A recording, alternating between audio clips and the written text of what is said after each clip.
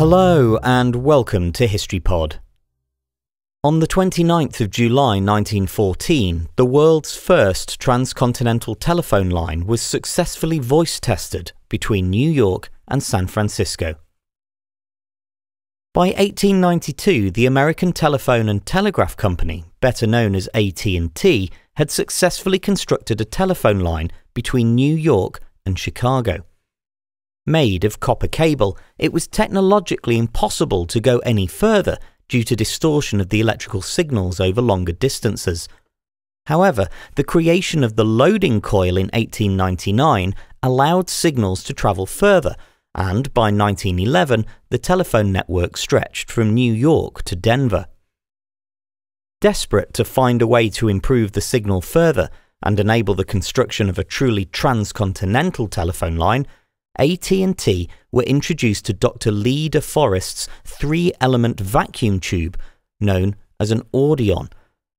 Although originally intended to be a radio receiver detector, AT&T scientists found that they could improve the design for it to function as a telephone line repeater.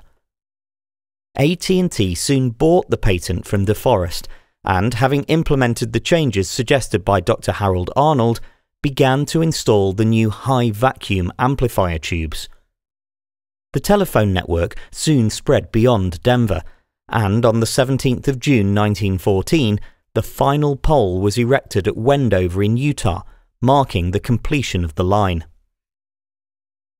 The first transcontinental voice test was conducted on the 29th of July by Theodore Vail, the president of AT&T, However, the line didn't begin commercial operation until the 25th of January 1915, in the midst of the Panama Pacific International Exposition.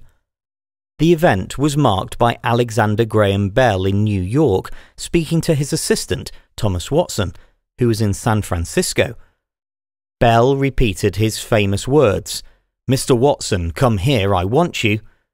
To which Watson replied, It will take me five days to get there now.